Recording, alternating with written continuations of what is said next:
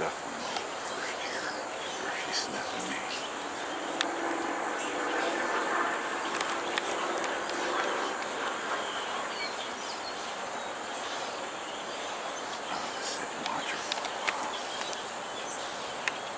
Welcome back to another episode of Whitetail Bushcraft, guys. Been in the tree stand, deer stand, as much as possible. Uh, ever since September 24th, it's already October 9th, guys. I can't believe it.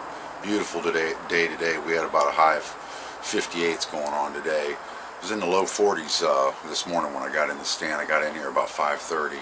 Uh, did have a doe come up with her two youngins same doe it's been coming up with uh, a couple of herds. The first day, 15 minutes in, we had a nice couple of bucks come in. Small antlers, but decent body, but I didn't want to take one that early with rut, then I'd be bumming. So uh, just been kind of letting a lot pass. I'm looking for a good freezer doe and, of course, a really nice buck. But I kind of want to give you guys a channel update of what's been going on. Uh, what I was going to do in this video is kind of collage of all the scenes of uh, the different animals that's been coming out. I had a falcon trying to take a squirrel down and uh, it kind of chickened out, came down twice.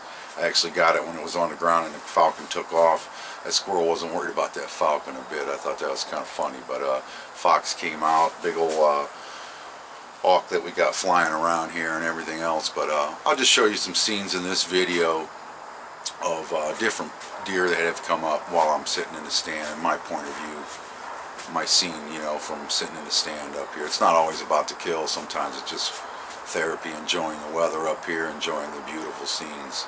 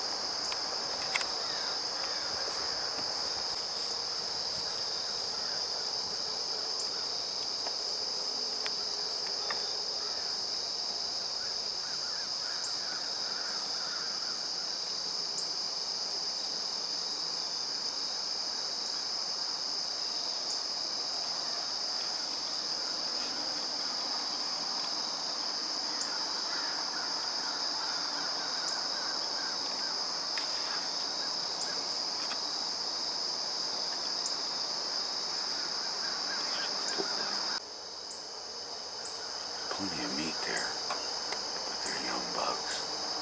I'm gonna let them grow up. Be big bucks, I'll get them another year. there's little ones, there's gonna be some big ones. If that was a dollar, probably would have took it. Just to put the meat in the freezer. But uh, they had small antlers,